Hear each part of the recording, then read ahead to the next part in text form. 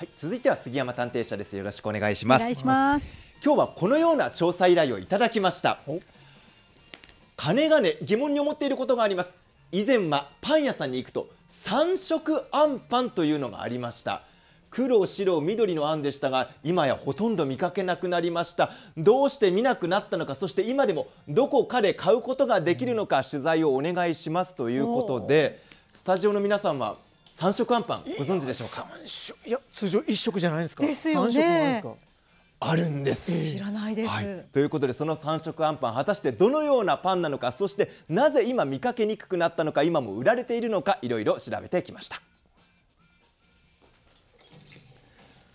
さあまずは栄の町で皆さんに聞いてみました。三色あんパンってご存知ですか？知らない。三つの色のあんが入ったパンが結構昔以前売ってたと思うんですけどなんか心当たりというか。知らない。見たこととか以前来とは初めて幅広い年代の方に声をかけましたが三色あんパンの存在そのものを知らないという方ばかり。うん。確かそんな中三色あんパンってご存知ありますか？二色しかわかんない。に。二色はある。2色なら知っているという方が。へ白あんとく黒あんってこしあん。三色あんパンを今も出してるところがあるかどうかっていうのを探してるんですけどなんか心当たりとかって。いや僕ないですね。売っている場所までは知らないとのこと。ーうん。その後50人以上の方に聞いていきましたが手がかりはゼロ。これはハードな調査になる予感です。しかし聞き込みを続けること2時間。三色あんパンって知ってますか？っていう普通のあんと緑とあと白あんがちなみにあの緑のあんっていうのはな何あんかっウグてイス豆ですかね。すごい。ようやく知っているという方を発見記憶をもとにどんなパンなのか絵に描いてもらうと。違うかもしれない。ですいやいやいやいやででこの中にあのまあ緑あ黒あんっていうか白とかそんな感じかな。3つに生地が分かれていてそれぞれに黒あん白あんうぐいすあんが入っていると言います。それでくっついてるんだ。はいこの三色あんパンを今でも売っているところを今日探しているんですけれども。ごめんなさい。知らないですか？申し訳ありませんやはりどこに売っているかまでは分からず。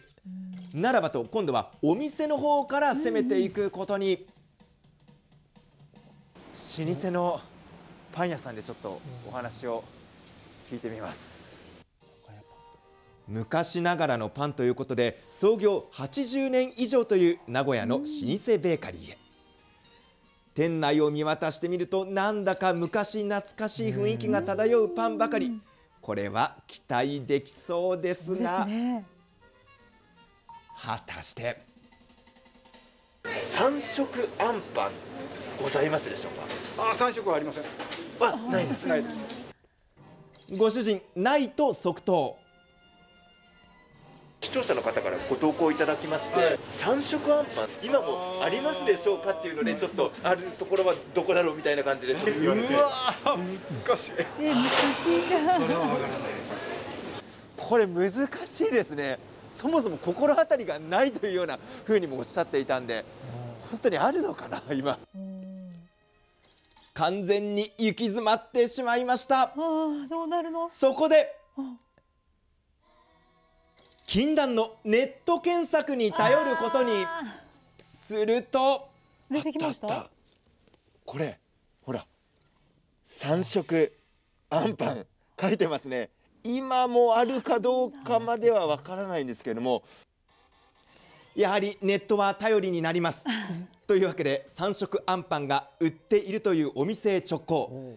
名東区藤ヶ丘駅近くのこちらマコパンさんでご主人を直撃です、はい、三色あんパンあはい。こちらにございますでしょうか？あります。お！ビンゴありました。三色あんパンはい。こちらです。お！あ！あ！おお！おしゃれ。おしゃれな。ちょっとイメージしてた三色あんパンよりもだいぶおしゃれなんですけれども、えー。これはどういったあんになるんですか？これはですね桜あん真ん中が小倉はい。それから緑なのがピスタチオのあんこになります。ピスタチオなんとおおしゃれに進化してそうきましたか。はい。まさかの三色違いでした黒のあんこはそのままなのですが、んうん。白ではなく桜、そして緑はウグアイスあんではなくピスタチオ。えー、でも美味しそう。令和バージョンにアレンジされていました。ねえ、その後も検索して片っ端から三色パンも売っているというお店に問い合わせましたが、うん、三色パンなんですが白あんとはい、ジャムとクリームです。あジャムとはいクリームとチョコです。アレンジの3色ばかり。特に。3色のこの中身。ウグイスあんというのはなかなか出てこないですね。それならば今度はパンに詳しい方に直接聞いてみることに。どうもよろしくお願いいたします。よろしくお願いいたします。こちらが石伏博代さん名古屋で日本最大級のパンイベントパンマルシェを主催。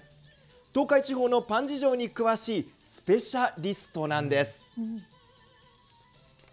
三色あんパン、中身がですねあんこ白あん、はい。そしてうぐいすあん。はい。この地域にありますでしょうか？すっごく難しいお。題材で。あのあんが、、はいろんなあんがあってですねはい。でその方が望まれる三色あんパンっていうのは、ほぼないと思います。ない？はい。ですか、はい。なんとパンのプロの答えはない。果たして皆さんがその3色分かれたあんパンをはい。食べたいかっていうのにもよる。おお。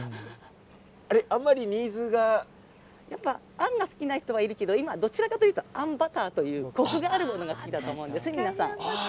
あんバターはい。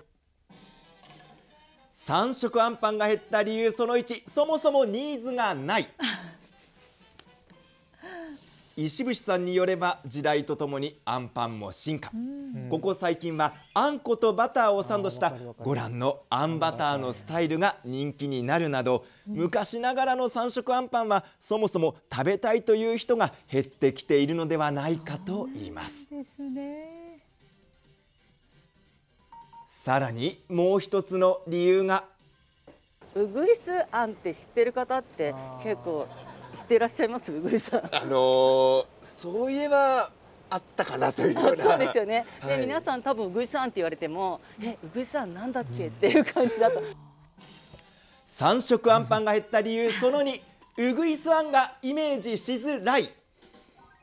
青えんどう豆で作るうぐいすあん特に若い世代には馴染みが薄く昔ほどは出回っていないのだと言います。あるといいんですけどね実際はちょっと本当に厳しいかなすごく厳しいかなって思います。そんなに厳しいんだ。なんと調査の結果三色あんパンは発見できず残念。しかしここで石伏さんから助け舟が今電話したらあの作ってくださるそうです。おおはい。本当ですか？本当本当。石伏さんの力で？私の力っていうかパン屋さんのパン屋さんの力。力 で石伏さんのお願いで知り合いのパン屋さんが三色あんパンを特別に作ってくれることにありがとうございます。ごいありというわけで後日向かったのが愛知県春日井市こちらが50年以上続くというベーカリーモンシェル、あの三色あんパンを。そうですね、三色あんパン。はい、ちょっとお願いして、はい。ありがとうございます。とんでもありません。ご協力いただいて。昔はやってたんですけど、今はちょっとやめてしまってますね。そうですか、はい。実はこちら20年ほど前までは三色あんパンも作っていたそうでそのノウハウも健在。当時の作り方を再現してもらうことに。おなんか3つのケースがこれが小倉あんですね。白あんとそしてうぐいさん。わちゃんとうぐいす色。そうですね。これが。3色のあんも生地に詰めていくのですが。あ別々にそれぞれのあんを入れていくんですそうですね。あのわからなくなわからなくなってしまうので、あ あの同じやつがふ二つとか入っちゃうと困ってしまうので。確かに二色になっちゃう。はい、何を詰めたかわからなくなるため あんごとに担当を決め3人がかりで作業。三色になると小さいのを三個作らないといけないので、やっぱり手間もかかりますね。だからやっぱりパン屋さんでやらなくなってきたのもあると思います。なるほど。これはちょっと説得力あるかもしれないですね。3つの生地を合わせて成形していきます、そして待つこと1時間。おお。こちらが幻の三色あんパンです。可愛い。初めて見ました。この形。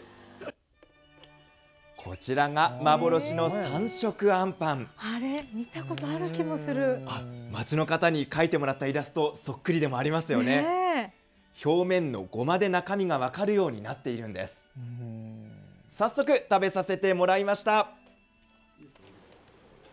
うん。